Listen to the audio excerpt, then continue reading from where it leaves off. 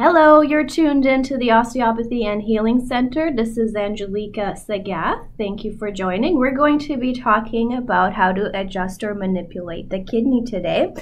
And we've already done this before with Margaret, and she had wonderful results where she then felt the neuralgia in her leg go away. So, first thing you want to do is make sure that the patient has their knee bent, and that's so that the belly is relaxed.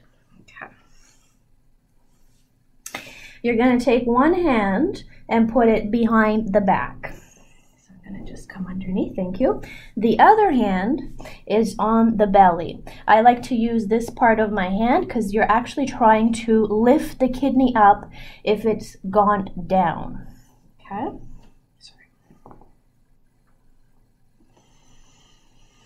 And then you can ask the patient to take deep breaths in and out. When they breathe out, you sink into the belly a little bit more.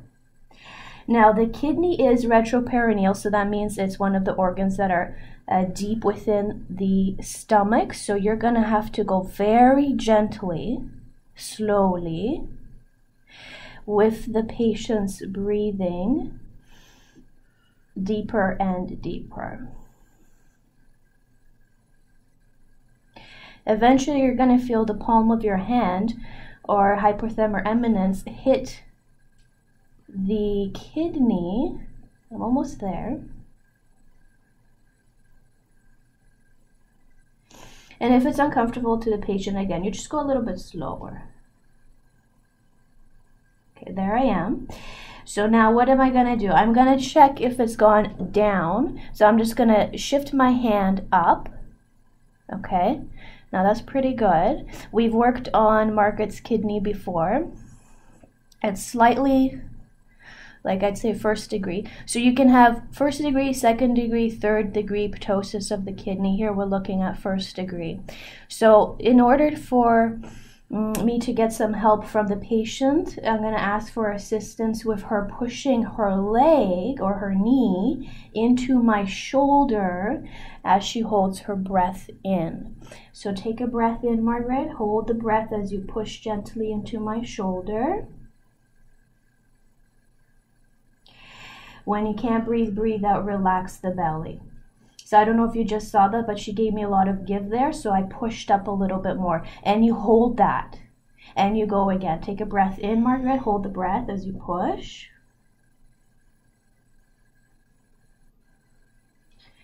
When they breathe out, again, you go a little bit, a little bit more up, as much give as you get, uh, that you gain. You keep going, you keep going, and then I stop there. The tissue's pushing back at me. And we'll go one more time. Hold the breath in as you push the knee gently into my shoulder.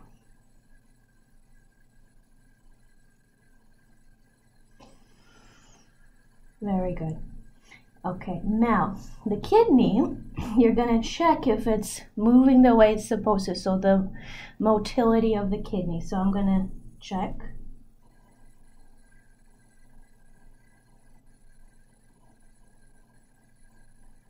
It feels good. Uh, so I'm just to hang out here just for a little bit more as she takes a couple deep breaths in and out. So I'm to have Margaret breathe in and out. You're to feel uh, the kidney just go like right into like the pocket there. You're, you're to feel like the sensation that it's in place. It's very notable. Okay. Now, just to do a little stretch of the tissues, you can also have the patient straighten the knee now, slowly. I'm still holding. My pressure is still there. And again, take a couple breaths in and out.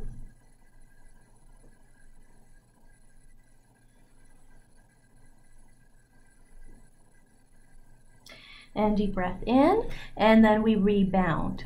Okay, so the kidneys, when she breathes in and out, they move like this. Okay, imagine these are the kidneys uh, with the patient inhaling and exhaling. So when I was on the kidney and I'm like, I'm checking for the motility, that's what I was checking for. Okay. So that wasn't too bad. That was the first degree. I'll go to the left and we'll check the left kidney. So I'll just have you come around.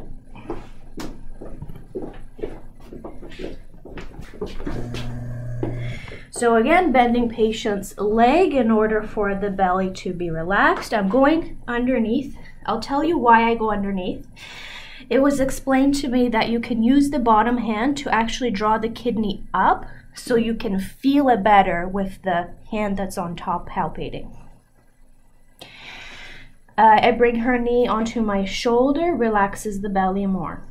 I bring my hand, so above belly button. I sink down as far as I can. Then I feel tissue is pushing back at me. So I stop. I respect that. And now I work with the patient. So take a breath in, hold the breath, gently push down into my shoulder with your knee. And when the patient breathes out, you're going to sink in as much as the body lets you. Work with the body here. That's really good. So I feel I'm right underneath the kidney. Very different feeling here. You will feel if the kidney's in the correct position versus if it's gone down. So I'm on the kidney. If you could see my hand, it's going side to side lateral. It's okay. So I'm just checking for any restriction. It's okay. Uh, so that was rotation. We did side. And now we'll do flexion and extension. Now, I am exaggerating the movements, but when you are on the kidney, you put your attention there. Uh, my attention is on the kidney. Then I put my intention there, and the movement is slight. Now, that's with me using my hand. You can ask, ask the patient to take a deep breath in and out, respiration. And you can also feel for that movement. So as she takes a deep breath in and out, I'm seeing external rotation, yes, side bending, yes, and extension.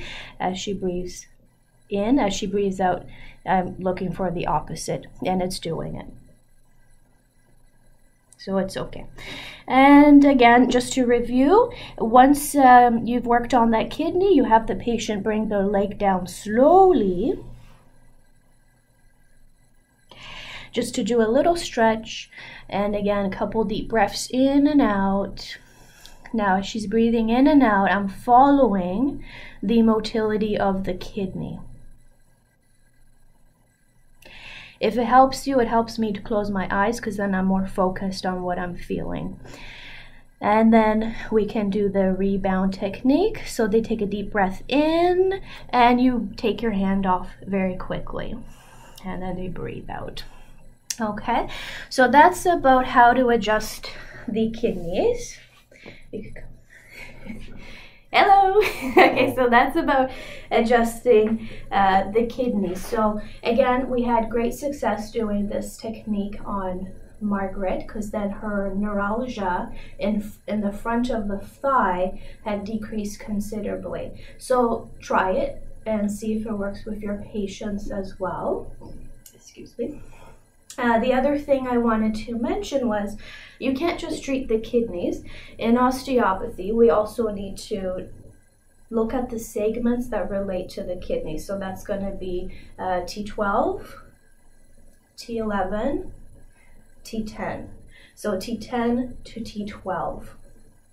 And what's interesting is you may find that side bending, rotating to the side that there's a problem with the kidney. Okay, so if it was side bending and rotating to the right, I'd start and go onto the right side um, of the abdomen to check the right kidney. Okay, of course, check both. Whole body's a dynamic unit function, check both. The other segments I'm going to say you want to check is T3 and T4, so a little bit higher up the spine, because that also has to do with kidney control. Okay, so I hope you enjoyed that uh, and leave me some comments as to what you would like to hear next time. Take care. Have a good day.